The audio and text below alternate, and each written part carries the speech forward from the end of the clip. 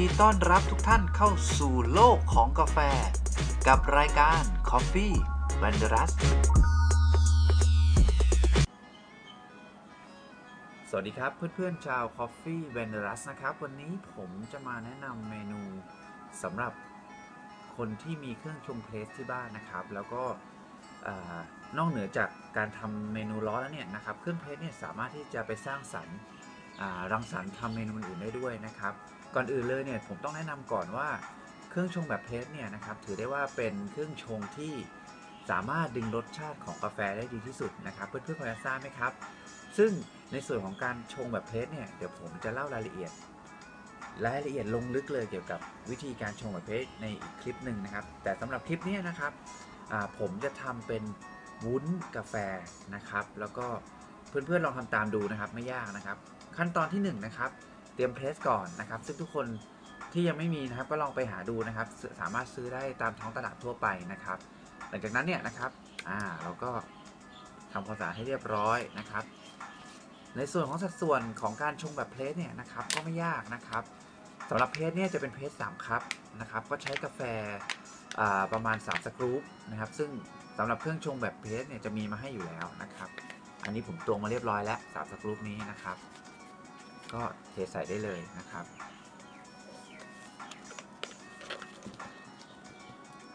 นะครับ หลังจากนั้นเนี่ยนะครับ เราจะต้องเทน้ำร้อนใส่เครื่องชงเพลสนะครับเทคนิคอย่างหนึ่งเนี่ยนะครับอยากจะให้วิธีการวิธีการเทน้ำร้อนเนี่ยนะครับ เทให้ทั่วกาแฟนะครับ วนไปทางใดทางหนึ่งก็ได้นะครับ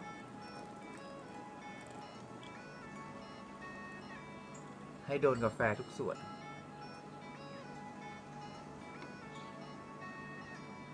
ใช่แล้วครับ นี่เลย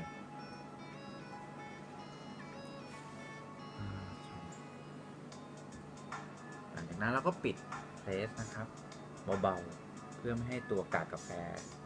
ขึ้นมานะครับเบาๆ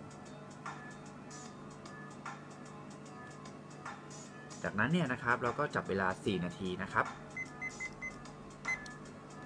พี่หมีจะเป็นคนเตือนเราเองนะครับ ว่ากาแฟที่เราชงนั้นได้หรือเปล่านะครับอาพี่หมีเตือนเราเรียบร้อยแล้วนะครับ ว่ากาแฟที่เราชงจากเครื่องเพรเนี่ยได้เวลาแล้วนะครับ วิธีการก็กดค่อยๆ กดนะครับนี่ครับ กดเพื่อให้กากกาแฟไม่ขึ้นมาข้างบนนะครับ แล้วก็กาแฟที่ผ่านการชงจากเครื่องเพรแล้วเนี่ยนะครับ จะได้รสชาติกาแฟที่ดีเยี่ยมที่สุดเลยนะครับ อนนี้เท่านี้เราก็ได้กาแฟแล้วนะครับสำหรับบางคนก็อาจจะทานเป็นลักษณะแบบนี้เลยนะครับ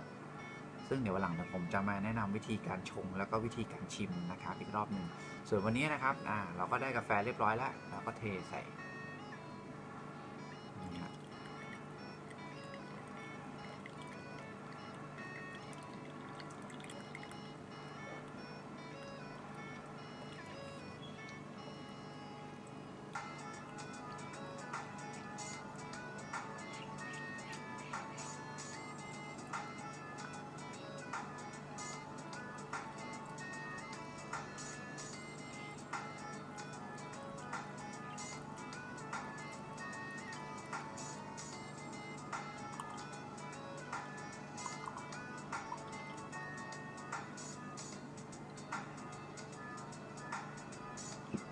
เรียบร้อยแล้วครับ เราก็ได้กาแฟ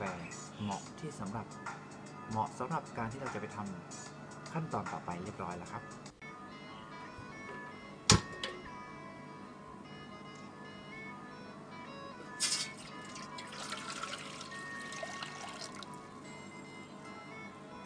ตอนนี้เราก็เทน้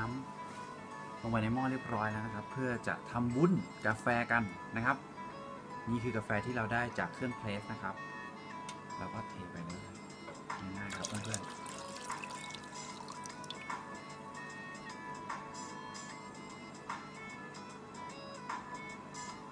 จากนั้นเราก็ใส่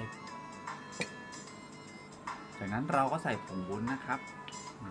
ช้อนตวงของเราก็ประมาณ 16มิลลิลิตรครับหนึ่งสกู๊ปประมาณนี้นะครับ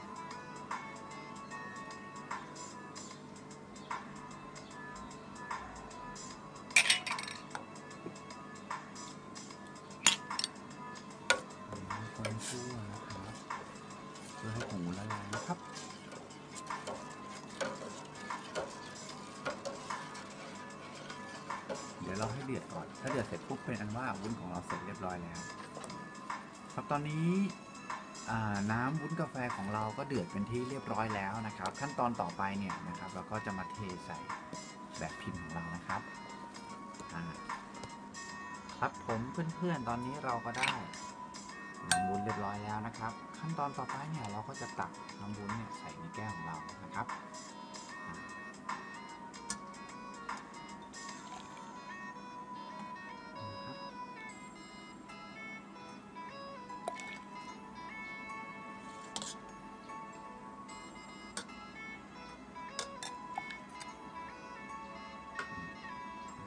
ประมาณครึ่งแก้วนะครับทำสักสองแก้วแล้วกันเนาะหิว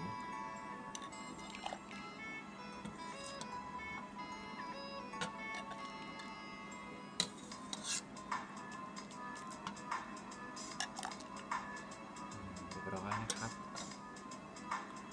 ในส่วนของน้ำวุ้นที่เหลือนะครับ เราก็จะมาทำตกแต่งกันนะครับ ก็เทใส่แม่พิมพ์ รูปหัวใจนะครับ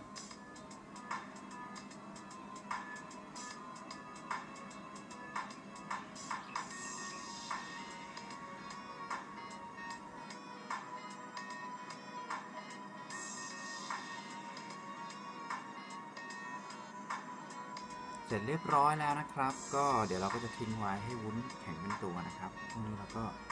พักไว้สักครู่หนึ่งนะครับ แล้วเดี๋ยวมาเจอกันนะครับ ตอนวุ้นเสร็จเรียบร้อยแล้ว สวัสดีครับ ตอนนี้เราก็ได้วุ้นตามที่เราต้องการแล้วนะครับ นี่เซตตัวอย่างดีน่าทานมาก หอมนะครับ วิธีการกินทำให้อร่อยนะครับ เราก็ต้องมีนมรสหวานนะครับ เพราะว่าตัวกาแฟเนี่ยเราไม่ได้ใส่น้ำตาลลงไปนะครับ เราก็แกะนมนี่ครับ นมทั่วไปนี่แหละครับ ไม่ต้องอะไรมากนี่ครับแล้วเราก็เทนมลงไป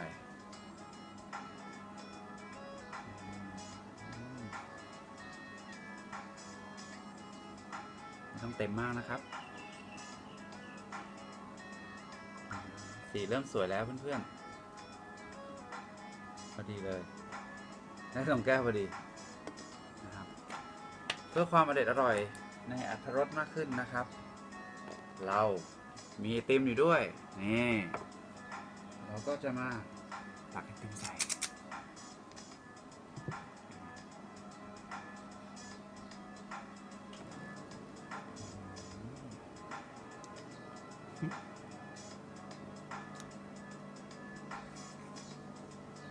เร็วมาก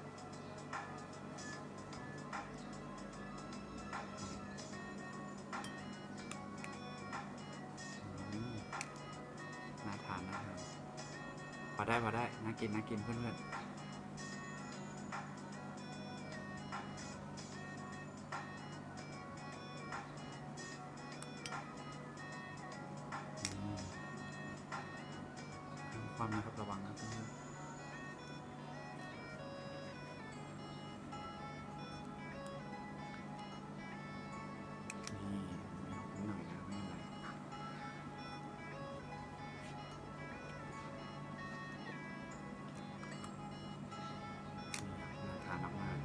ร็จแล้วทำไงต่อครับ ตกแต่งกันสิครับเพื่อนๆมาใส่งานนะครับขออนุญาตใช้มือนะครับรูปหัวใจปั๊มปั๊มลงไปจมฮะนี่ครับ นี่ แต่ที่เด็ดไม่ได้อยู่แค่ตรงนี้นะครับ ทีเด็ดคือขั้นตอนการกินเพื่อนลองดูนะครับยุบยุบยุบอืมลองกินดูนะครับอืมได้เลยได้เลย อืมอร่อยอร่อย